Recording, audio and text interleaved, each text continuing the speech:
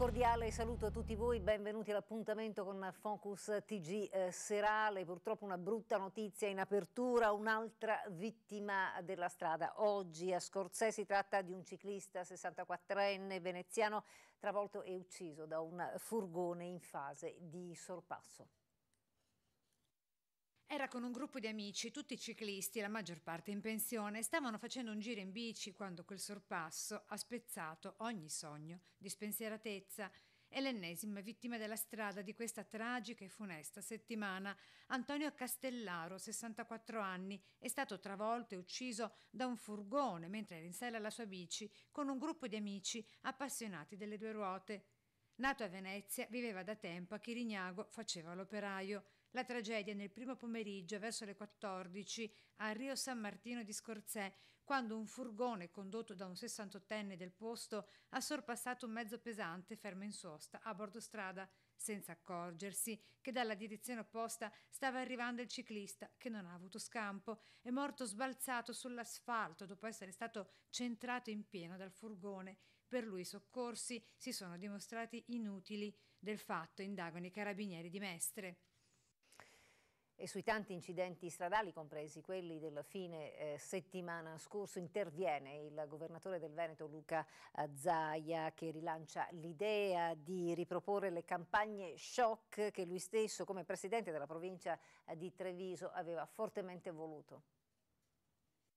Noi avevamo veramente fatto tappa bene su, su quel 50 che ci avevano richiesto però purtroppo poi un, uno degli uffici nostri che lavorava veramente bene della, della provincia è stato chiuso con, eh, con la riforma e, e, purtroppo da quel momento nulla è stato più fatto per le scuole per quel progetto e la cosa è drammatica perché purtroppo adesso vediamo dopo 4-5 anni i frutti. Marino Biscaro negli anni 90 lavorava all'ufficio provinciale sicurezza stradale quando l'allora presidente della provincia di Treviso Luca Zaia decise di dar vita a campagne shock contro le stragi sulla strada.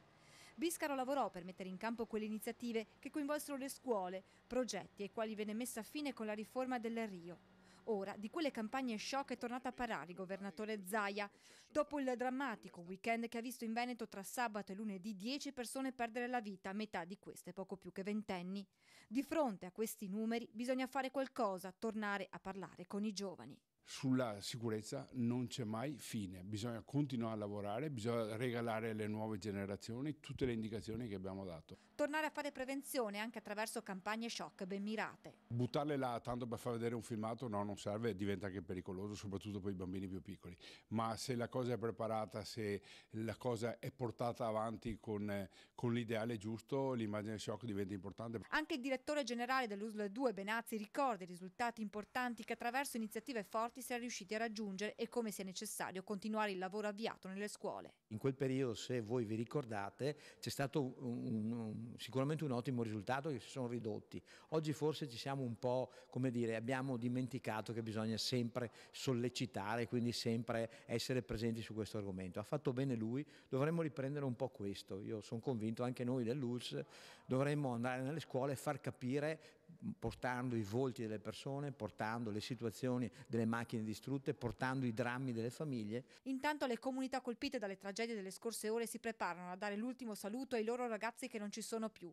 Sabato 21 dicembre Salgareda si stringerà intorno ai familiari di Matteo Gava per i funerali che si svolgeranno alle 10.30 nella chiesa di Campo Bernardo ed era uno della banda dei kosovari che nel 2017 progettava di compiere, lo ricorderete, l'attentato terroristico per conto dell'ISIS a Venezia. Ritenuto troppo pericoloso, ebbene, oggi è stato espulso con volo di Stato dall'aeroporto Marco Polo di Venezia.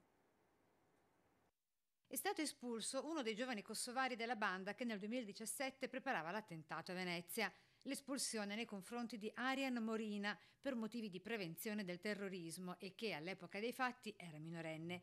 Ha lasciato il territorio nazionale con scorta della Polizia di Stato dall'aeroporto Marco Polo di Venezia. Il giovane kosovaro faceva parte della cellula jihadista che aveva collocato la sua base in un appartamento nel cuore di Venezia, banda sgominata nel marzo 2017 con le indagini della Questura di Venezia iniziate due anni prima, nel settembre del 2015, dalla Digos. I componenti del gruppo erano stati tutti arrestati il 30 marzo 2017 e poi condannati in via definitiva. Tra loro vi era, oltre all'espulso Arian Morina, i maggiorenni Fisnik Bekai, Dake Azirai e Arian Babai. Al momento degli arresti la cellula veneziana era pronta a sostenere il progetto jihadista compiendo uno o più attentati nel centro storico lagunare. Il ruolo di Morina doveva essere di tipo operativo e dimostrativo dell'ISIS, nonché di addestramento al combattimento. All'epoca, infatti, Morina, dicendosi soddisfatto di alcuni attacchi effettuati dall'ISIS in Turchia, affermò che fosse giunto il turno dell'Italia e richiamava perciò l'attenzione degli altri sull'opportunità di organizzare un attentato dinamitardo proprio a Venezia, data l'elevata presenza di, diceva, monafic, cioè ipocriti.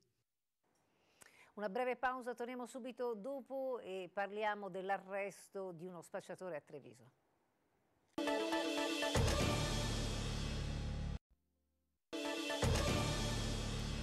Rieccoci in studio, ve l'avevamo detto prima della pausa, Pusher arrestato dalla polizia locale con mezzo etto di cocaina, 400 euro di multa ai due assuntori sorpresi ad acquistare la droga.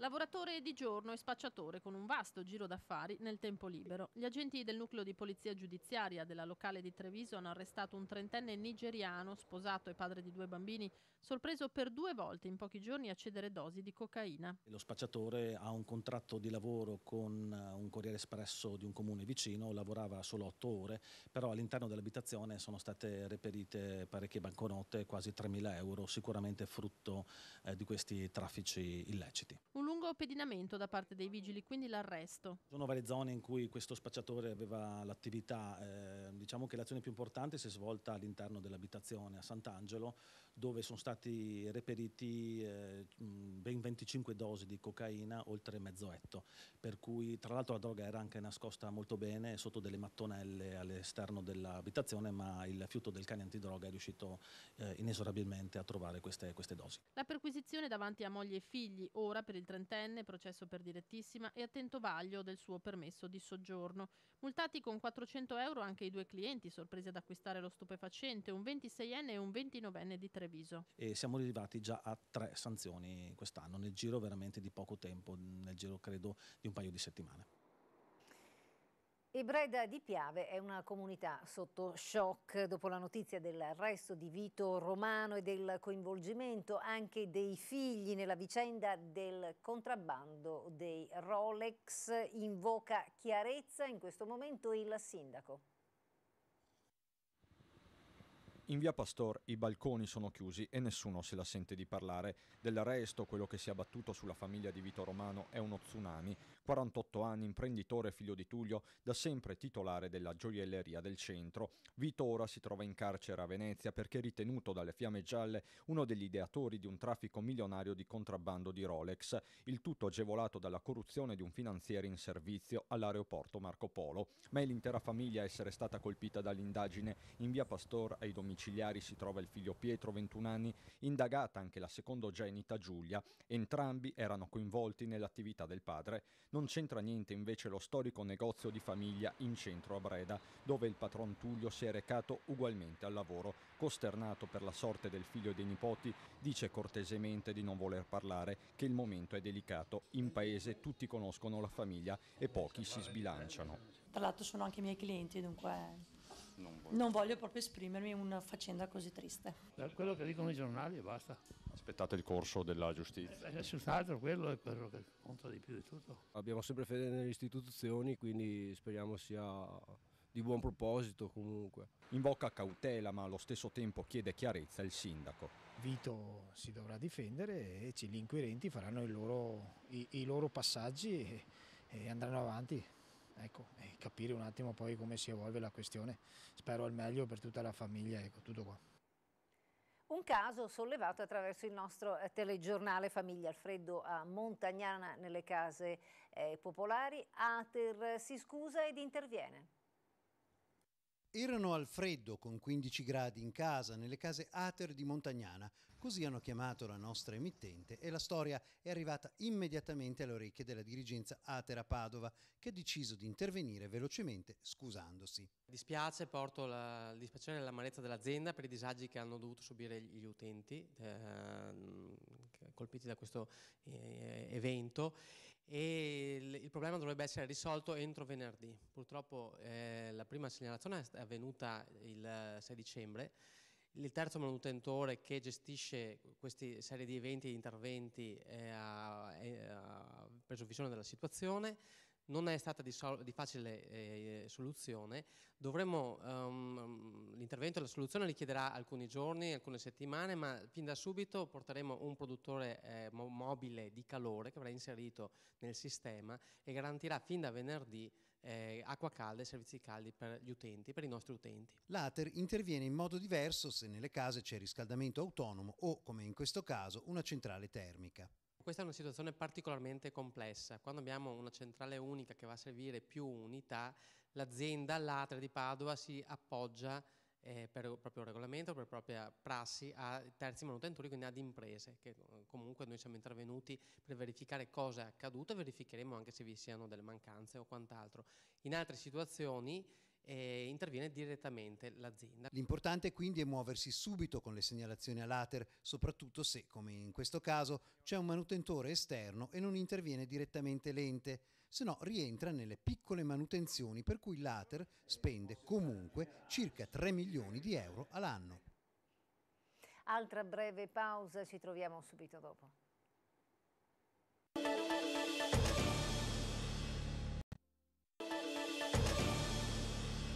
Siamo a Belluno, il risultato shock della classifica del Sole 24 ore sulla qualità della vita impone una riflessione a bocce ferme. Abbiamo un deficit infrastrutturale che deve essere affrontato, così si esprime il sindaco.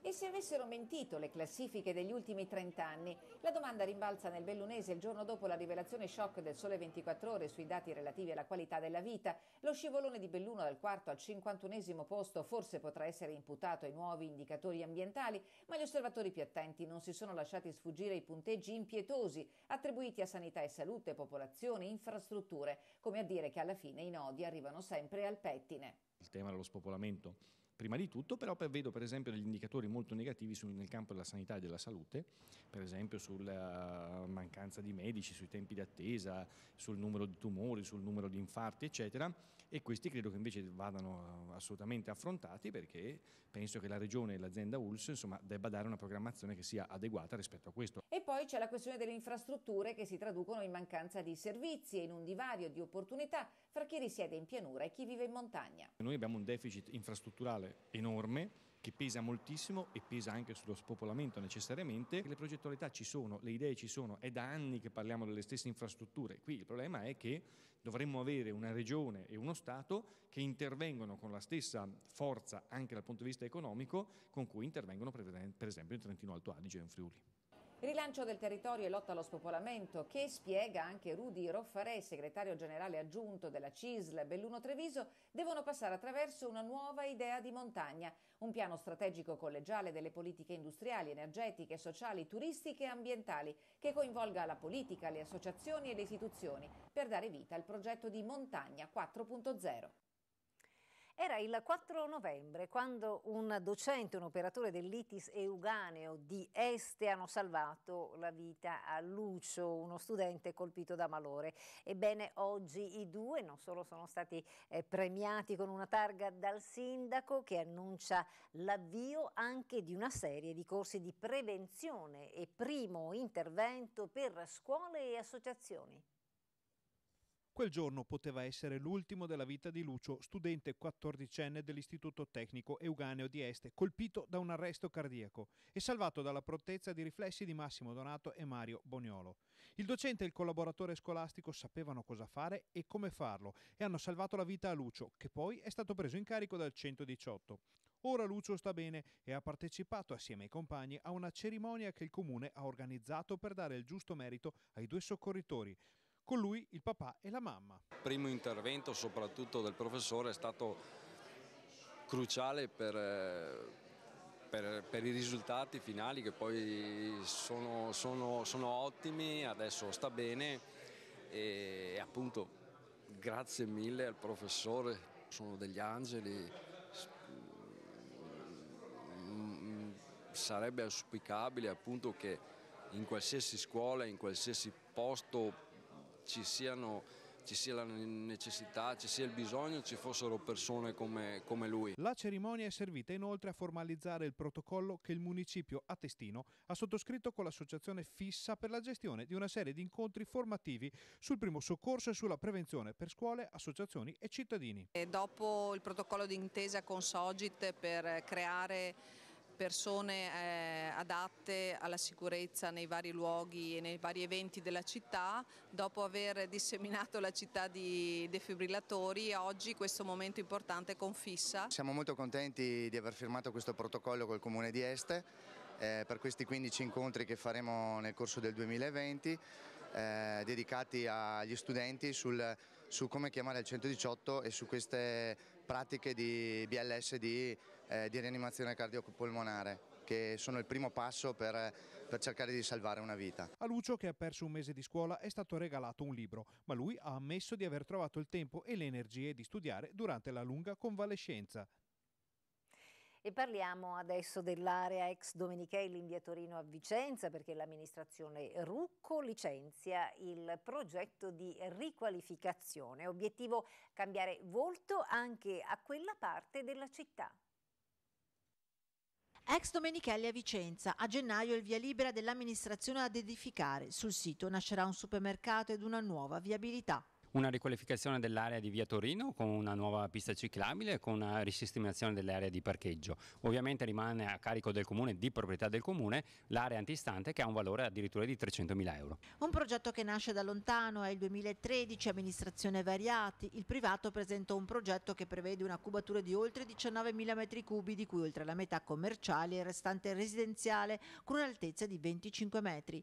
Oggi il progetto con il piano casa è nettamente modificato. La cubatura ridotta del 50%, sparisce la parte residenziale, rimane l'area commerciale che vede un supermercato di medie dimensioni e l'amministrazione guadagna un'area su cui saranno fatti ragionamenti futuri. Una nuova viabilità che prevede una rotondina, una pista ciclabile, l'alberatura è ottenuto che il parcheggio del supermercato, 80 posti ad uso pubblico, alla sera venga chiuso.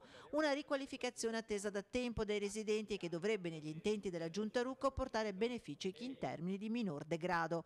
L'area si affaccia su via Torino e si incune tra via Firenze e via Genova, da tempo diventato una vera e propria casba. Meno cemento, più risposte ai cittadini diretti alla riqualificazione di quell'area critica e troppe volte sottovalutata.